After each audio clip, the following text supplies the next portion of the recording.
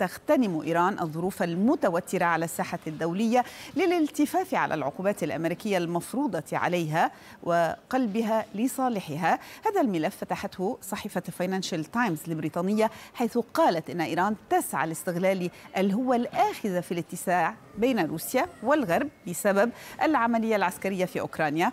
النهج الجديد كان ارتمائها في الحضن الروسي. فالإحصاءات تشير إلى انتعاش التجارة بين طهران وموسكو وما يدلل على ذلك تخطي حجم المبادلات التجارية بين البلدين خلال الستة أشهر الأخيرة حاجز المليار والمئتي مليون دولار.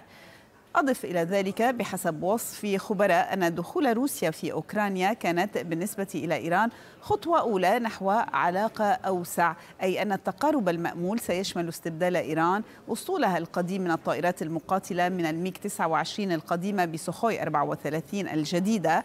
نظرا لوقوف إيران إلى جانب روسيا بعد أن وافقت على تزويد روسيا بصواريخ ومسيرات إضافية خاصة وأنها أتت أكلها في أوكرانيا.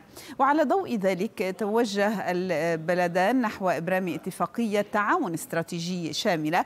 كما أن التقارب مع روسيا مهد لإيران الطريق أمام الانضمام إلى الاتحاد الاقتصادي الأوراسي ومنظمة شنغهاي للتعاون وذلك بعد قطع الرابط المالي العالمي عن إيران.